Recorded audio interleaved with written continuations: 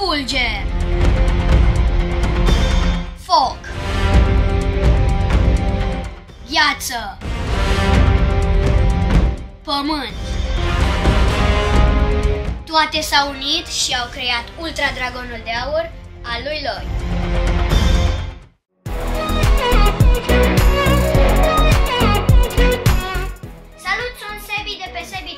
Astăzi ne uităm la cel mai mare set din Lego Ninjago sezonul 16, Crystallized.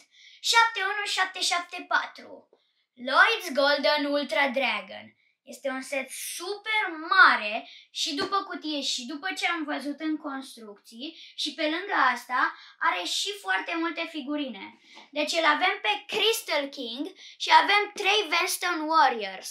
Pe lângă asta îl mai avem pe Golden Oni Lloyd și avem pe Cole, Zane, Kai și Jay care atunci când au fost în formele lor dragon în Lego Ninjago Crystallize s-au unit și au creat Ultra Dragonul de Aur al lui Lloyd. Îmi place foarte mult setul ăsta, mă bucur că l-am prins la o reducere, l-am luat din Viena, l-am prins la sub 500 de lei și cred că ar trebui să înceapă și acum reducerile pentru seturile din Crystallize pentru că s-a cam terminat sezonul și atunci ei pentru golire de stoc fac reduceri, deci vă las o listă cu linkurile către acest set în descriere. Bine, haideți să-l deschidem și să vedem ce e înăuntru. Deci este o cutie care se deschide cu scoci, ca să vă dați seama că e un set mare, așa se întâmplă la seturile mari la Lego. Și vai cum arată înăuntru. Hai să-l vărsăm totul. Asta e nou, asta e super nou, asta e super tare și super nou. Wow! Într-o cutie, sunt într-o cutie instrucțiunile. Și aici avem punga 1, avem și punga 2, 3, 4, 5, 6 și 7. Pe lângă asta mai avem o pungă cu armele de aur și cu acest, acest accesoriu pentru pălăria lui Nia de Samurai. Și vreau să deschid neapărat instrucțiunile, să văd cum arată, poate sunt diferite. Oh! Iară ceva nou, seamănă cu seturile Ivo pe care le-am avut. Și mai e ceva aici? Nu, nu mai e nimic. Deci, cam astea sunt toate componentele setului și mă miră că nu are stickere, dar mă și bucură. De mult n-am mai avut un set așa de mare la care să nu lipesc stickere, dar văd cât de mult am de construit și mă gândesc că trebuie să trec la treabă. Stați pe recepție în videoul ăsta pentru că o să mai, opre, o să mai opresc construcția ori de câte ori văd ceva interesant.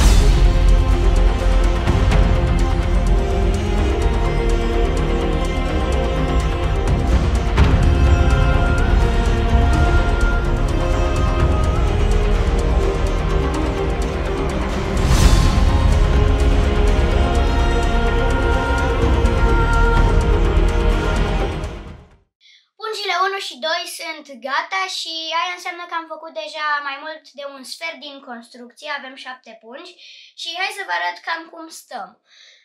Avem acest tron cu cele 4 arme de aur, avem 3 figurine, Crystal King, Golden Oni Lloyd și Golden Cole și aici avem, cred că, mijlocul dragonului și aici am început cu aripile.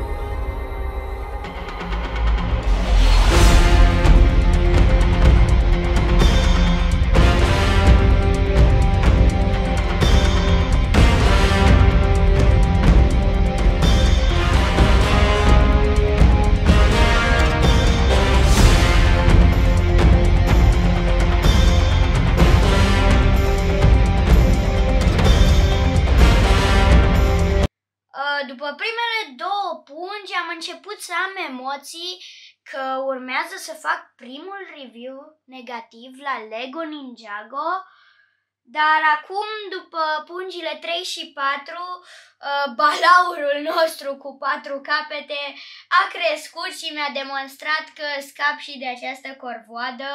În punga 3 am făcut coada și în punga 4 cele patru capete care arată super, super tare. Fiecare are o construcție individuală, fiecare cu ceva mai special, forme diferite la capete, sunt super, super faini. Deci a crescut dragonul, mai am trei pungi, sunt curios cum o să arate la final și l-am mai făcut și pe Zayn.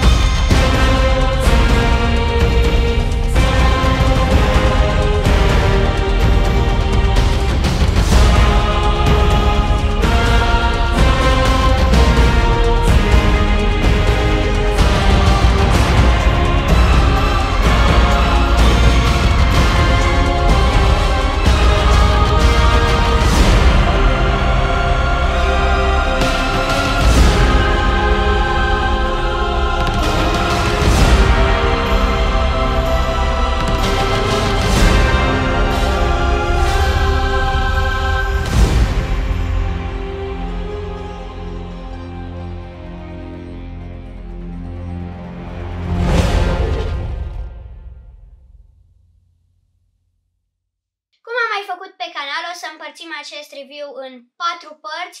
Prezentarea generală, apoi ce îmi place, ce nu îmi place, pentru cine este setul și ca un bonus, sebiscorul setului. Bun, haideți să începem cu prezentarea generală, vom merge din față până în spate. Uh, avem cumva main highlight-ul din acest set, care sunt cele patru capete elementale, care deși par înghesuite aici, pot fi mutate foarte bine și invers. Și ca să nu facă Lego uh, pentru fiecare cap două părți diferite, le-a refolosit în unele locuri, acum îl termin de întors, Uite, am reușit să întorc, se poate și mai bine, dar acum sunt puțin în grabă. Aici partea asta este folosită și sus și jos, dar o mai întâlnim și aici jos. Și capul ăsta mai este folosit și aici și partea asta de jos mai este folosită aici, unde partea de sus este în sfârșit una unică pe care nu o mai întâlnim în acest set. Trecem mai departe la aripi, care au un mecanism nou cu un cauciuc și dacă tragem de capacul ăsta în părți diferite, dacă îl rotim, el o să tragă cumva de linia asta care mută aripile. Și mi se pare foarte ingenios mecanismul ăsta, avem și aici, pot fi foarte deschise, pot fi închise. Și dacă în partea din fața dragonului am avut tot felul de lucruri noi și interesante, cred chiar aici unde avem articulația asta de la șold, s-a cam terminat programul designerului Lego, adică s-au terminat cele 8 ore, a plecat acasă, pentru că după nu prea s-au mai întâmplat alte lucruri în afară de un corp simplu și o coadă aurie cu niște picioare uh, și pare că l-a făcut portarul, adică avem aici niște articulații peste tot, se poate întoarce coada, dar am mai văzut asta la orice dragon de Lego Ninjago puțin mai mare. Și mi se pare că fața arată bine și spatele e puțin cam, nu știu, nu se compară cu fața. Dar lucrurile se schimbă iarăși când vine vorba de construcția mică și de multe minifigurine. Construcția mică este un tron pentru Crystal King care ține cele patru arme de aur și apropo de Crystal King, uite aici este el cu patru brațe, arată super fain, masca asta mare așa și aici îl avem pe Overlord în spatele măștii.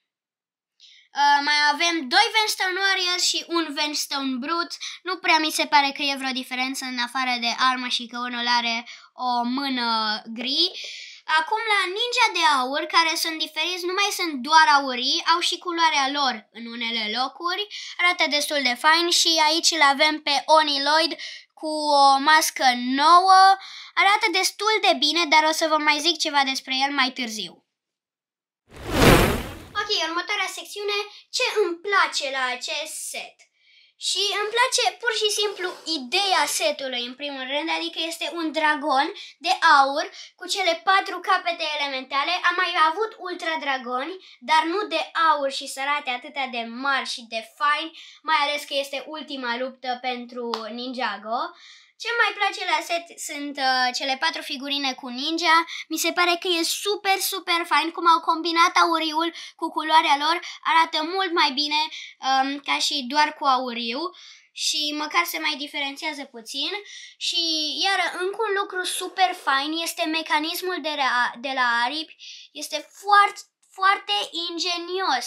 Adică nu numai că este folosit un cauciuc ca să face asta, să aibă aderență pe această piesă de aici, ca să o poată mișca, dar după mai vin și roțile astea dințate, care mișcă segmentele astea și este foarte, foarte, foarte tare, mai ales când vrei să te joci. Uite, le-a făcut mare, acum le-a strâns. Uite ce fain arată și așa cum se întrerup astea două. Mi se pare extrem de fain. Următoarea secțiune ce nu îmi place la acest set și am câteva lucruri. La aripi, uite când sunt deschise, par foarte rare și nu știu, măcar să le poți să nu faci piesa asta, să faci alta și să le adaugi niște extensii mici, ca niște crenguțe așa, arătau mult mai bine, sau să le pui material textil ca aici, că tot arăta bine când strângeai aripa, tot era un mecanism super fain. În continuare, nu-mi place Golden Oniloid și asta este o chestie clară în comunitatea Lego Ninjago. De ce? Îl avem pe Crystal King cu patru brațe și Golden Oniloid, care a fost și el în sezon cu patru brațe și a fost super fain, trebuie să aibă doar două, mai ales că nu-l mai primim în sezonul ăsta de seturi niciunde, deci e figurină exclusivă. Deci, pur și simplu mai avem una cu patru brațe în set, o figurină. Puteai doar să recolorezi partea asta în auriu și să-i pui niște detalii verzi și uite-l pe Golden Oniloid făcut bine! Totuși, Lego, la faza asta chiar puteți să-l faceți mai bine. Pe Golden Oniloid, totuși e figurină faină, dar putea fi mult mai bună. În continuare, cum v-am mai zis, de ce ați lăsat portarul să continue setul de aici? Uite, fața arată super faină, fața face tot setul, nota 30 de milioane. Dar apoi spatele continuă, e o linie aurie. Nimic altceva. Nu știu, continuați cu culorile de la capetele elementare să mai puneți pe aici, prin zona asta, puține culori. Arăta mult mai șmecher. Așa e doar auriu. Spatele e acolo. Și mai e o chestie acolo pe care trebuie să zic, trebuie să fiu puțin hater astăzi, prețul. Adică eu l-am prins la o reducere foarte bună, cu 100 de euro, adică vreo 500 de lei. Dar ăsta nu e prețul lui normal, el de obicei e în jur de 700 de lei, ceea ce e destul de mult, adică uh, acum ceva vreme îți luai secția de poliție cu 400 de lei și era gigant, adică era zona asta de înaltă, era mare, te puteai juca cu ea. Acum înțeleg, uh, Lego City nu e Lego Ninjago și 2022, chiar 2023, nu e 2018, dar totuși 700 de lei e un pic cam mult, adică e jumătate din grădinile orașului Ninjago. Ultima secțiune înainte de Sebiscore pentru setul ăsta mai este pentru cine este el. Clar nu e pentru copiii mai mici de 9 ani care e vârsta pusă pe cutie, adică nu-i văd pe ei construind uh, un set atât de mare și după să nu-l facă praf și nu văd părinții din atâția bani pentru un set atât de mare pe care știu că nu o să-l construiască copilul până la capăt și că o să-l facă praf, deci mai bine și eu cei mici, unul puțin mai mic. Dar ăsta este pentru copii de 9 ani care se joacă cu el și când crești mai mare, cumva ca mine, 11-12 ani, încep să-l expui. Și acum ne gândim, setul ăsta are vreo șansă să devină legendă? cum sunt alte seturi de Lego Ninjago mari și faine. Adică mai sunt încă doi Ultra Dragoni cu patru capete și ea nu sunt de aur, ăsta este singurul de aur, dar nu știu sigur, okay. dar are șanse. Bine, deci, Sebi scorul. Acum o să avem câteva criterii aici. Ideea setului este foarte bună, adică în total, împreună cu ăsta, avem doar 3 dragoni cu 4 capete, adică 3 ultra dragoni și doar ăsta este de aur. Deci uh, este nota 10. Apoi, prețul a, nu este așa de bun și ce să zic, e foarte mare pentru asta, totuși e jumătate din grădinile orașului Ninjago prin, prin, pentru care am strâns mult. Deci aici este cam un 6 jumate 7. Apoi urmează construcția și iar uh, în partea din față am construit câteva lucruri, adică am construit aripile cu mecanismul lor și capetele astea cu tot felul de culori, dar în rest nu mai am construit niște cuburi, le-am pus armură aurie și le-am unit unul cu altul, nu? Uh, deci la construcție nu este cea mai bună, deci un 7 jumate 8. Și apoi urmează uh, playability-ul setului care are capetele astea pe care le deschizi, le muți cum vrei tu, dacă vrei le poți schimba și locurile. Uh, mai ai și aripile astea care se pot închide și deschide. Deci la playability avem nota 10 clar pentru că e super fain să te joci cu el și acum urmează un criteriu nou care este cât de bine poți să îl expui, pentru că eu am o cameră nouă și încep să expun chestii pe aici. Um, probabil îl voi expune, dar clar arată bine doar din față și dacă îl pui cumva în laterală deja se vede spatele. Deci aici îi dau 9,50 spre 10. Și acum marele Sebi score, media, uh, eu ca fan Ninjago. Îmi place Ninjago, este setul din, rup, din lupta finală, a sezonului final, a poveștii uh, de la început de Lego Ninjago. Eu îi dau 8 jumate 9. Dar acum, discutând cu tati uh, despre ce să zicem, el zicea 8 jumate spre 8 pentru că el e adult și o vede în alt fel, nu e neapărat fan Ninjago. Dar acum că suntem în comunitatea noastră de fani Lego Ninjago, o să-i dăm un 9. Bun, deci sebiscărul de la acest set este nou, nu e deloc rău, dacă vreți să vi-l luați, este aici în linkurile din descriere și până data viitoare vă urez spor la dragonici și dacă v-a plăcut episodul nu uitați să dați like și să vă abonați dacă vreți să vedeți mai mult Ninjago. Ciao!